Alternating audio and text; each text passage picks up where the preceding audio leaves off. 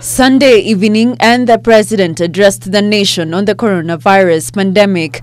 In order to avoid the risk of transmission through physical handling of money, we encourage the use of cashless transactions such as mobile money, M-Pesa and otherwise. And he called upon Safaricom to review money charges to enable citizens avoid dealing with hard cash.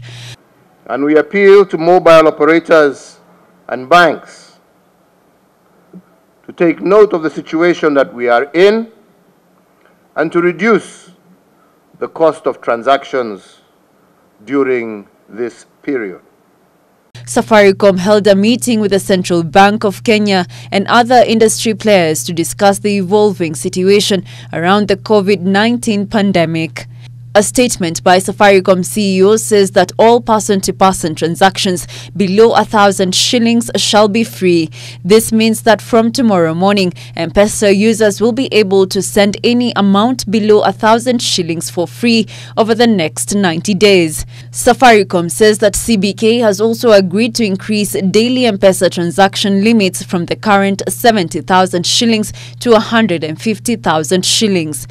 CBK has also approved that Kenyans will also be able to transact up to 300,000 shillings up from the current limit of 140,000 shillings and hold up to 300,000 shillings in their M-Pesa wallets. Joseph also said that Safaricom is also working with the government by providing a call center and integrating a toll-free line 719 which has been set up by the National Emergency Response Committee on Coronavirus. The company also says it will support support Kenyans in understanding how to prevent and manage suspected cases by interconnecting other networks to ensure that their subscribers can access the call center toll free.